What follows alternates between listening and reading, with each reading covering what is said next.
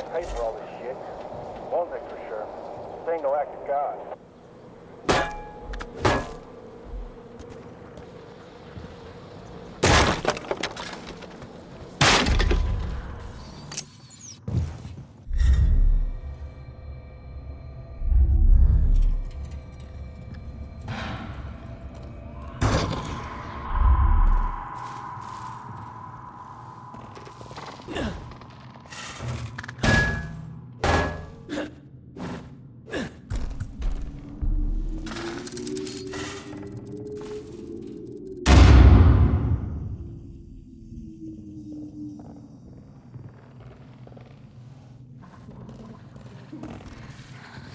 Water was really